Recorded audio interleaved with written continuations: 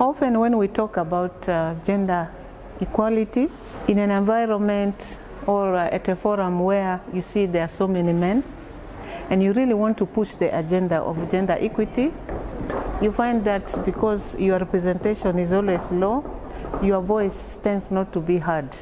We can advocate to a certain level because we have different cultures and traditions. So somehow it's a little bit of a challenge. You find that if it was a man going to advocate, he can find a soft spot. But if it is me as a woman, they will have, always have a second thought. What I do is I always try my best to also uh, link up with other female colleagues like me who are in higher positions. I table my agenda and then I use them to table on my behalf. I think it filters all back to the recruitment process, be it at the operational level, be it at the headquarter level.